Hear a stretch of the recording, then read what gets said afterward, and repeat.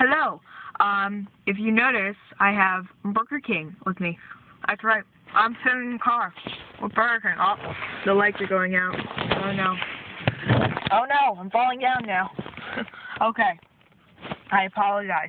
I was I just wanted to convey this with you because I've tried to upload a video about this one thing for so long. I'm just gonna upload it right now, right from my phone. Um I've been trying multiple times. I like made it as soon as I got home from school, but you know whatever. I was just in a Burger King. Did you see Burger King?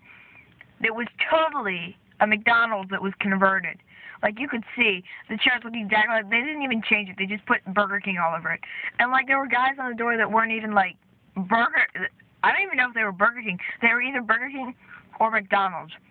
They were one of the two, and let me tell you, I had not seen them in years. It must have been eight. I must have been eight when um, I saw them last. That was like five years ago. So, yeah. And it smelled like a Subway, which was even weirder. So I just wanted to say that. Thanks for watching. I will see you tomorrow's day 192.